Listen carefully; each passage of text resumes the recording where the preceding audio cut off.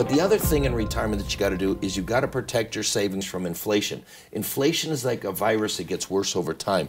And this chart shows $10,000 of purchasing power at 4% inflation will be cut by more than 50% in 20 years. It'll be cut by more than two thirds in 30 years. So, Steve, if you think about it, not only do you need to plan to have income to age 100 and beyond, mm-hmm. you really need to plan to have increasing income to age 100 and beyond. Now, look, this is where stocks can fit. This is where mutual funds, this is where managed money can fit.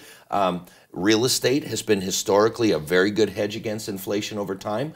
But, you know, as we were talking earlier, there are other ways to protect against inflation. People need to know I've already got guaranteed income that will kick in when I turn age 60.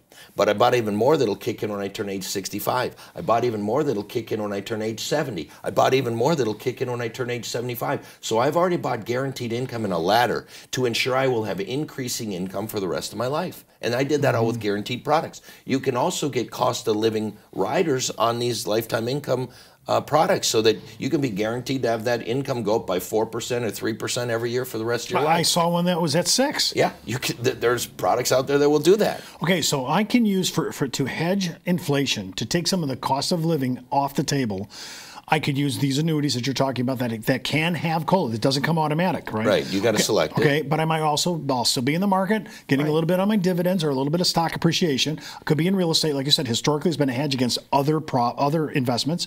And I like your other thing about, and then I could actually work a little to take the edge off it. Right. And so there are many ways that you can do it. It's not an all or nothing thing. If if you feel more mm-hmm. comfortable in the market, you can have some money in the market. The mm-hmm. market over time should protect you from inflation. If you're a real estate person, you can have some money in mm-hmm. real estate estate. Real estate over time typically protects you from inflation. Some commodities will do it. Or if you're not the risk type person, you can do it with guaranteed products as well. Whatever fits you best.